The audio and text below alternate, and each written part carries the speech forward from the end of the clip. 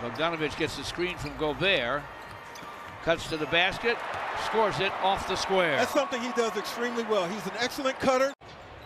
Bogey, right to left hand. Royce has been on fire from downtown. He'll drive the scoop. Beautiful shot. And O'Neale's on the board.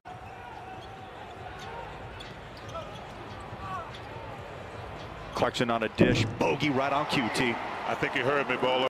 Right to left hand, drives on Faves, and tosses a errant pass right into the hands of Mitchell. Here's Joe, give it up. Bogey just hit a three, steps to his left, it's up. Bam! Yeah, baby. Back to back. Coach, his message to Bogey during the stretch has been continue to attack, shoot, compete. Whatever he's doing, he's so competitive. So good things are going to happen. He just reminds Bogey of how good he is. Royce comes over to help. That breaks open Blake. He'll take the shot. Had to hurry and comes up short. Great Back defense. comes Utah. Beautiful pass. Bogey on the run and a foul. Jazz capitalizing.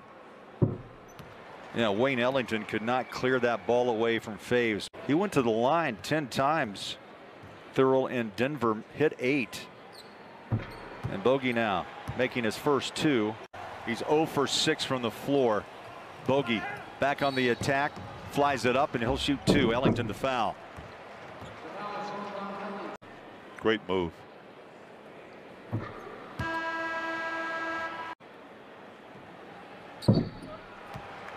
A, a 12 point half for Bogdanovic. That was a beautiful shot over the outstretched hands of Plumlee, which is not easy to do. But if you're Donovan Mitchell, you really got it rolling right now. Oh, Bogey read the pass perfectly, gives it inside. Donovan rides it home.